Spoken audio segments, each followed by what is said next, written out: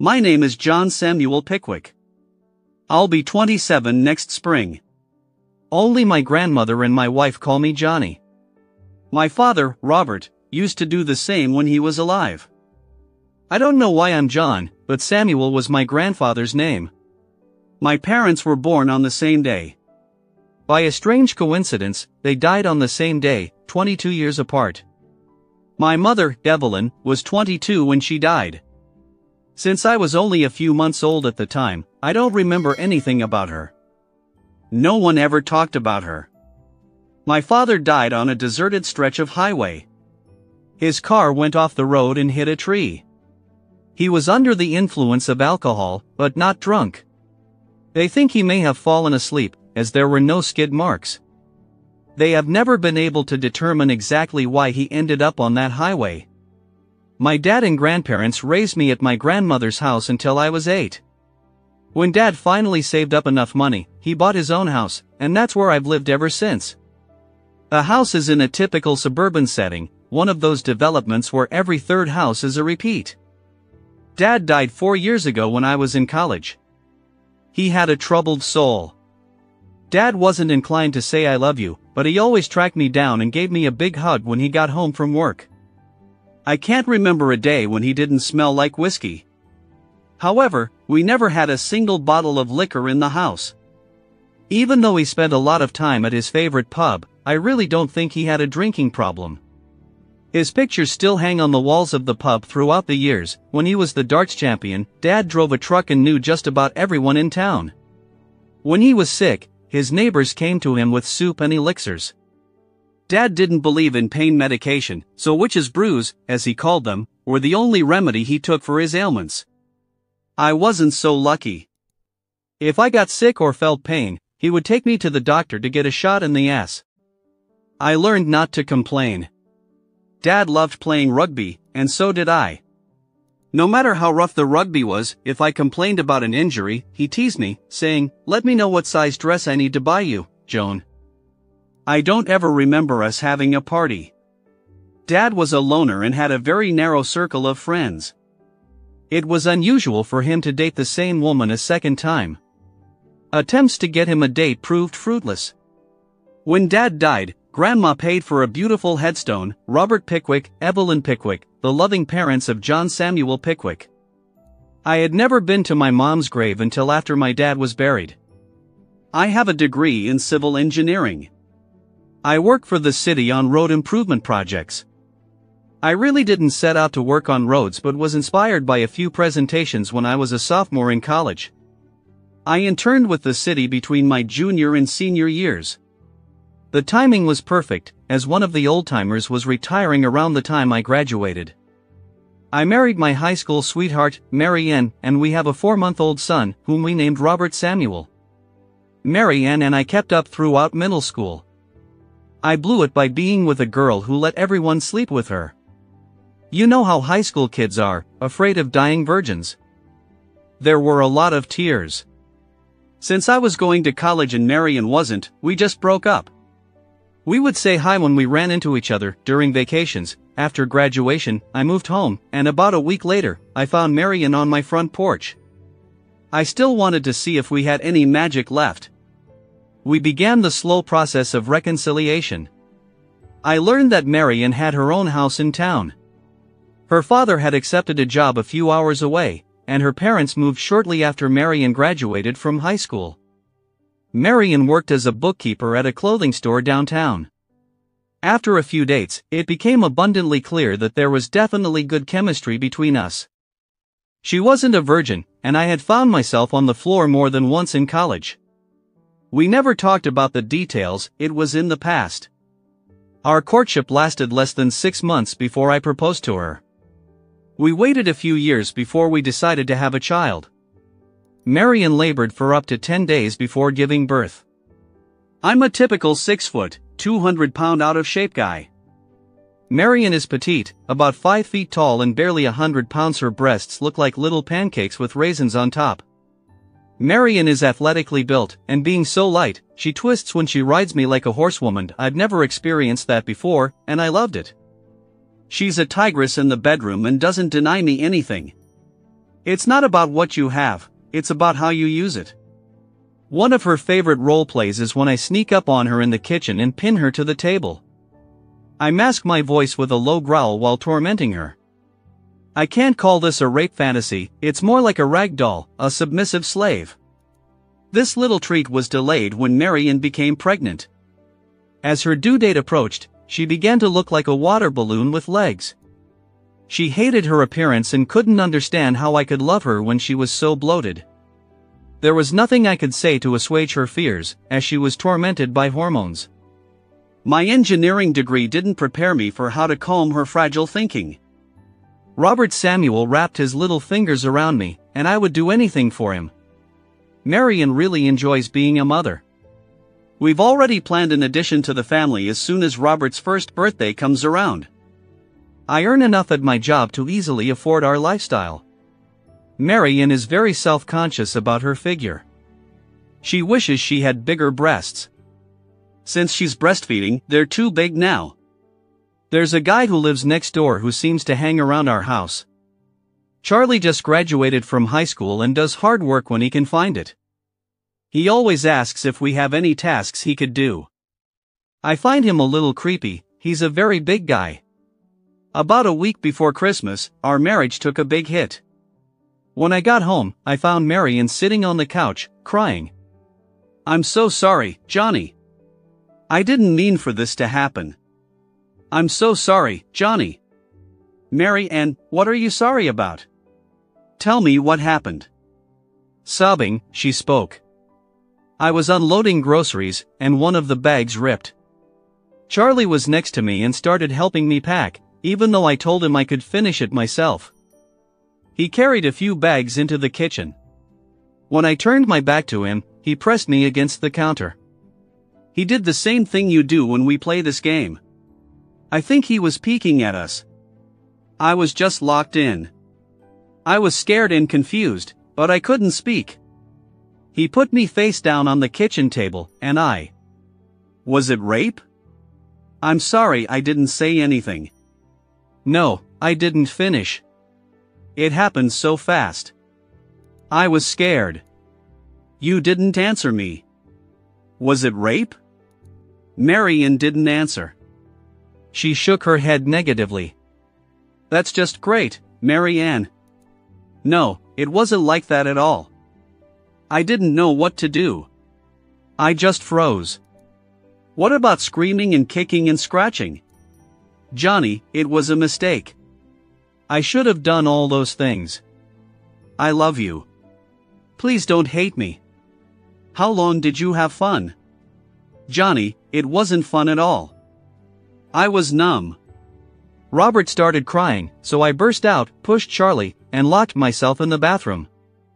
I've showered probably 10 times since then. I wish our marriage wasn't a crying marriage. Maybe you could have saved it.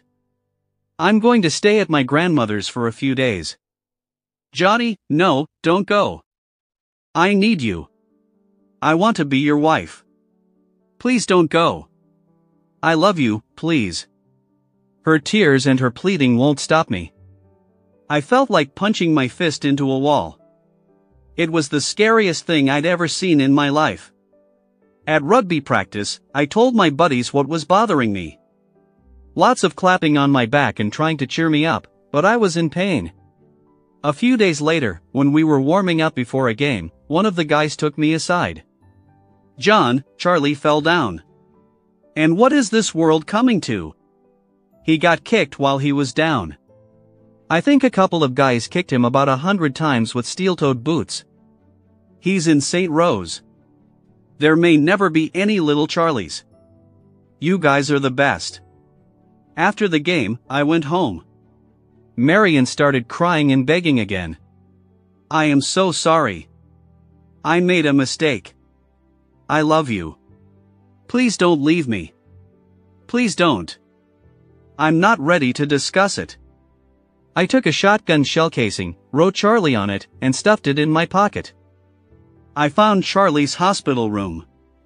During the attack, he had tried to protect his jewelry with both hands. His hands were no match for the steel toes of rugby players' boots. Both hands were in casts, and he had a lot of tubes connected to him.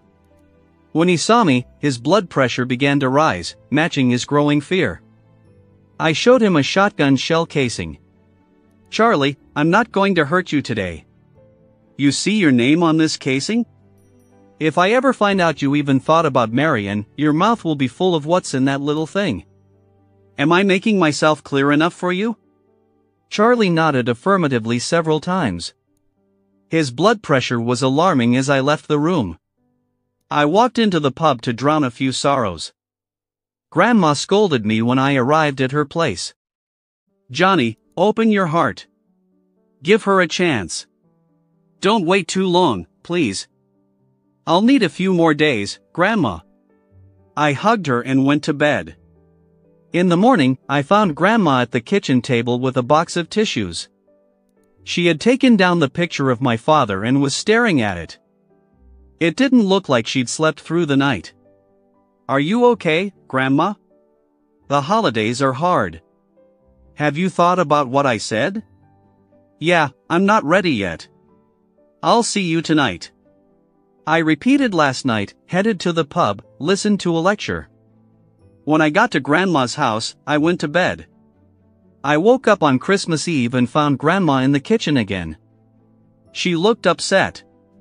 The tissue box was empty, and she was looking at a picture of my father. I thought she was mumbling something, but I couldn't make out what. Good morning, Grandma. Anything in town? It's my day off at noon today. Johnny, have you made up your mind yet? Not yet. Open your heart, Johnny. It was a mistake, maybe a big one, but a mistake nonetheless. Do you need me to tell you about some of the big mistakes you've made? How is this different from you and that S at school? I just hope you don't wait too long. You're just as stubborn as your father. Grandma, we're married now. That's different. Marion was already wearing your wedding ring at the time. I'll tell you what's different. It's now you have to deal with the sting of betrayal. When it was her feelings, no big deal. But now that it's your feelings, well, that's different. Don't wait too long, Johnny. She cried again. I kissed her forehead and left. I found myself in the pub around supper time. Not much here, a few people coming and going. I was feeling very depressed. God, I miss Marion and little Robert so much. I think I had already decided what to do. Another sip of pride, I washed it down with whiskey. I know liquor isn't the answer, but I was pretty sure milk and water weren't either. Hey kid, a voice said. He held out his hand. You look the way I feel. My name is Bobby. I've been watching you for a while now, may I join you? I looked up and saw a guy about my age, maybe a little younger, with blank eyes and an impassive stare. I could smell a slight whiskey odor on his breath. Sure, I said, shaking his hand. I didn't see you. My name is John. Let me guess, he said. Like me, cheating wife? I nodded. People live here, Johnny. Christmas should be spent with family. That's right. I'm John, but I never knew my mom. She died when I was a baby, and my dad died four years ago. What about you, Bobby? Well, if you're John, I'll be Robert.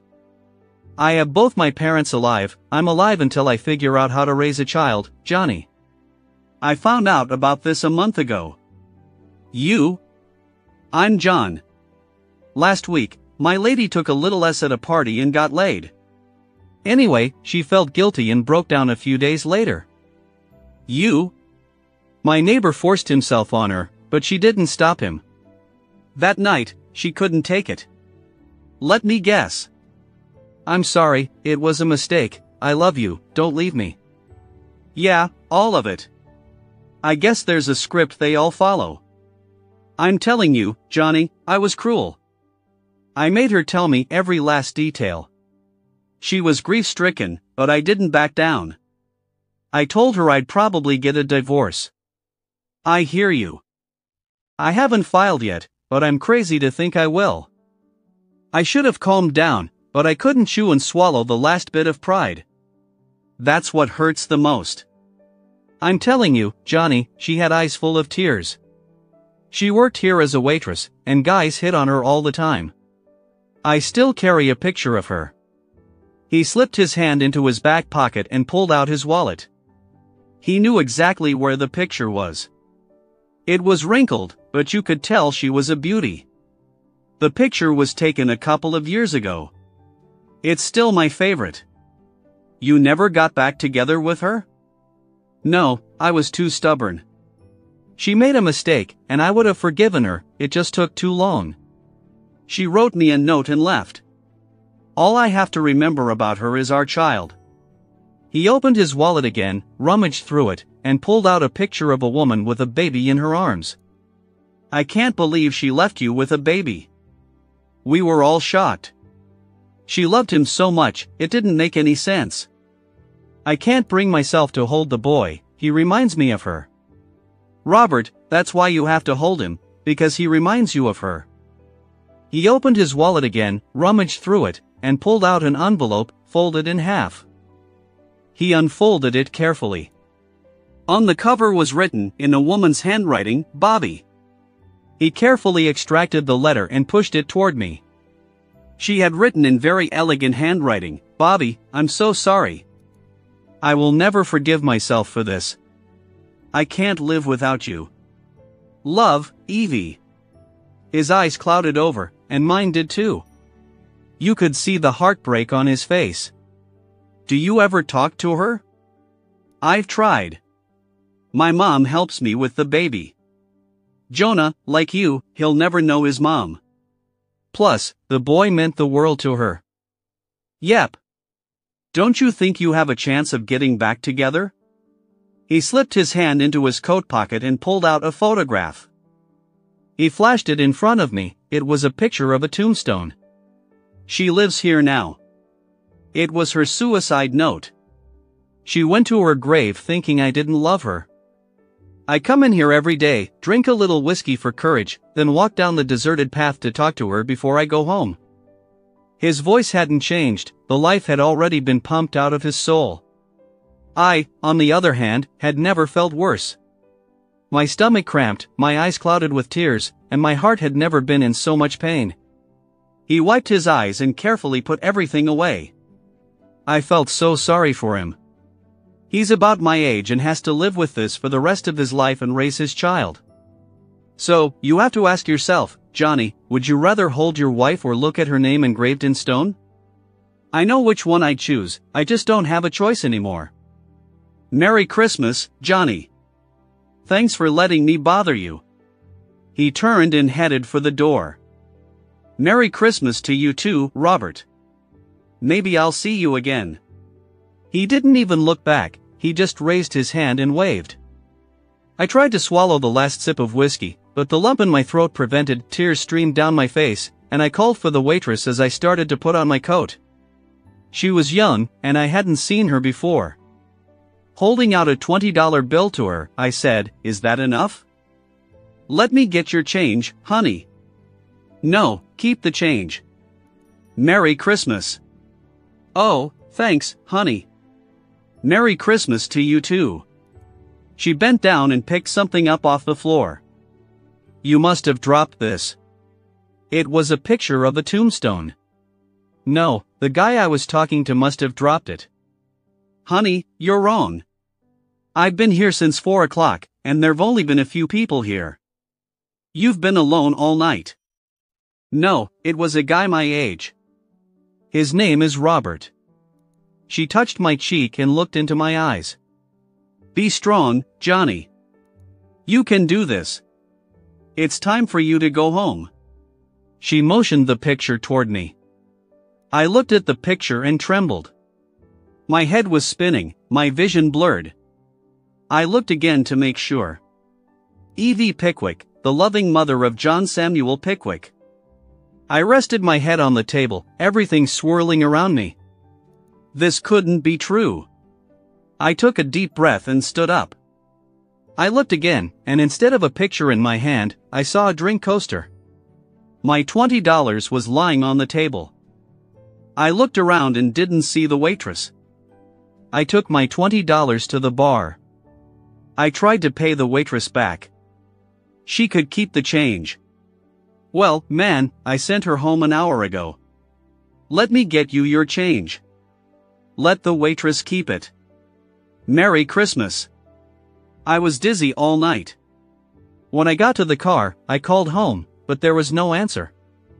I dialed Mary Ann's number, but no one answered. I don't remember much about the ride home other than chanting, Please be okay, please be okay.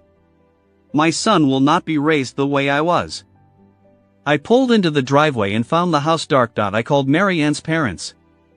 Hi, Mom, it's me, John. Is Mary Ann there? She's busy. She's putting Robert to bed. Could I ask her to call you tomorrow? I'd really like to talk to her tonight. She's busy tonight. She's with people who love her. Can you just leave her alone tonight? Please tell her that all is forgiven, and I want her back if she agrees. I'm home. The phone went silent. I walked into the house and headed straight for the bedroom closet. I pulled out a shoebox full of dad's stuff. I sat down in the living room, opened the shoebox, and found his wallet.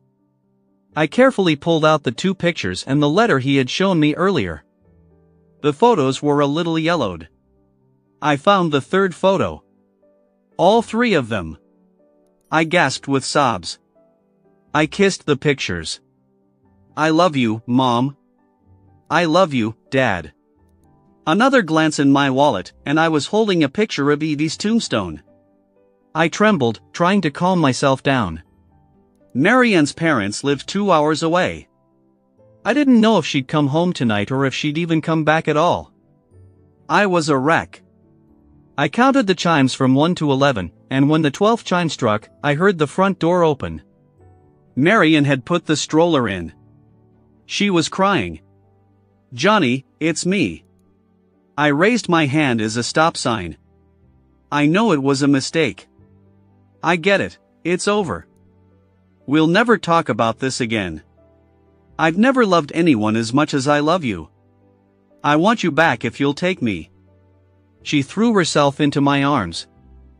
I love you, Johnny. Never again, I promise. We hugged and kissed for a long time. What's that on the table?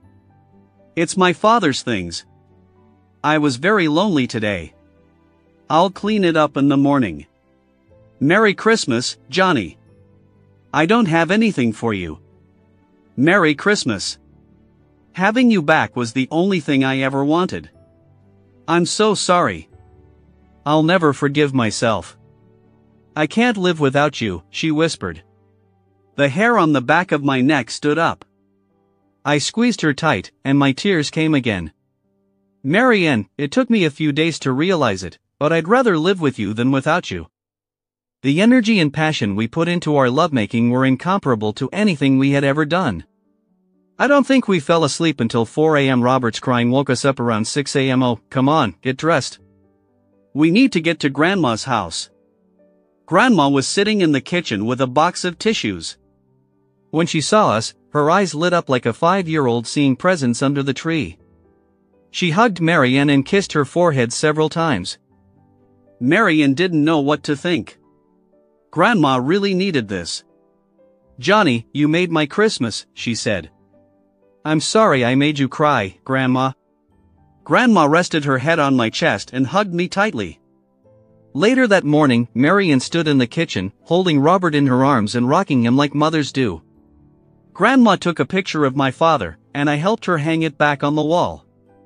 When did you stop calling Daddy Bobby? I asked. Her head turned sharply toward me, a strange look of surprise mixed with shock on her face. The first Christmas Eve after Evie died. He'd come home and announced he was going to be Robert, and she was going to be Evelyn. Bobby and Evie had been too painful for him. That was the weirdest thing. He also took you out of the crib. Up until that point, it was like he was afraid to hold you. You slept in his arms all night from that night on. He hugged you every chance he got. Are you alright, Johnny? You look a little pale. I twisted with a cramp as a shiver gripped me. A little strength. I'll be fine. Johnny, Bobby would be so proud of you. It may not have mattered much to me yesterday morning, but it did today. Mary Ann and I got home at dusk. While she put Robert to bed, I started putting away my father's things. I looked at the pictures again and began to shake as my tears flowed. It was her. She was the waitress. Epilogue Charlie has disappeared. I no longer chase Mary Ann around the kitchen. Robert has a younger sister, Evelyn. By one of life's little oddities, she was born on the same day as her brother, two years apart. I paid for a new headstone, Robert Bobby Pickwick Evelyn Evie Pickwick together forever, the loving parents of John Samuel Pickwick. I've tried to explain to Mary Ann what happened that night, but she doesn't believe me. I warned you, Johnny, not to drink on an empty stomach. I can't explain it. I know that every time I find myself in a difficult situation, I touch my cheek where she touched me and think of her words, be strong, Johnny. You can do it. And he also had a lot of tubes connected. When he saw me, his blood pressure began to rise, matching his growing fear. I showed him the shotgun shell casing. Charlie, I'm not going to hurt you today. You see your name on this casing? If I ever find out you even thought about Marian, your mouth will be full of what's in that little thing. Am I making myself clear enough for you, Charlie? He nodded affirmatively several times, his blood pressure was alarming. As I left the room, I walked into the pub to drown a few sorrows. Grandma scolded me when I arrived at her place. Johnny, open your heart. Give her a chance. Don't wait too long, please. I'll need a few more days, Grandma. I hugged her and went to bed. In the morning, I found Grandma at the kitchen table with a box of tissues. She took down the picture of my father and stared at it. It didn't look like she'd slept through the night. Are you okay, Grandma?